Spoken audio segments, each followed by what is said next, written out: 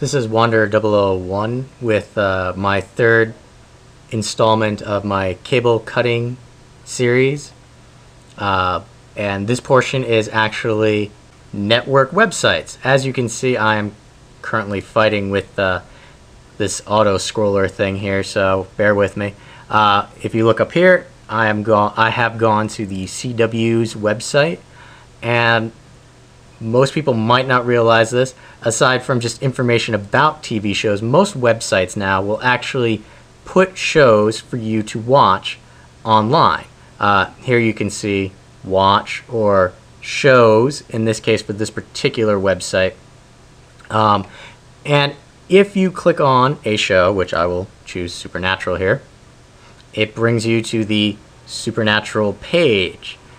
Uh, but down here in the lower left, you have the option for full episodes. I will click on that.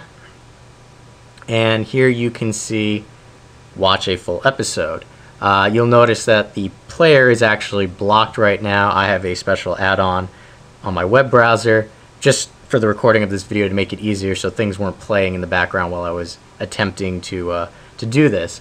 Now, aside from doing through shows, if you select watch and we'll go back to the supernatural again, it will bring you directly to the watch page. So instead of when we clicked on shows and going through the supernatural page and then having to select full episodes, we can just go to the watch and it'll bring you directly to the watch the full episode page here. You click on it and it will start up here. Now I'm going to pause this very quickly because I don't want any spoilers out there for people who haven't seen this one yet or you know copyright infringement trying to get around that too.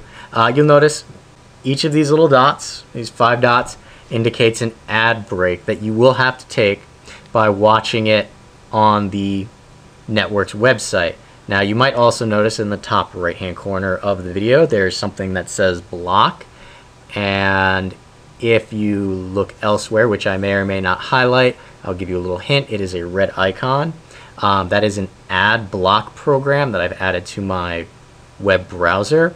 And if you watch the TV shows on the network websites and have a program like that, you actually will not have to sit through the ad breaks. Uh, for whatever reason, the network's pages have not figured out how to make it so you have to watch the ads right now. So uh, utilizing an ad block program, you'll be able to watch this episode of Supernatural without these little interruptions. So you actually will only spend 42 minutes watching the show. Uh, if you did a Google search for a particular show, in this case, I did for Supernatural, and it brings you to this website.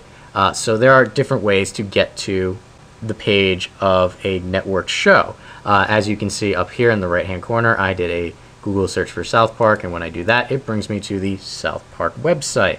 Again, they have an option to watch full episodes, and you click on that, and you can select full episodes.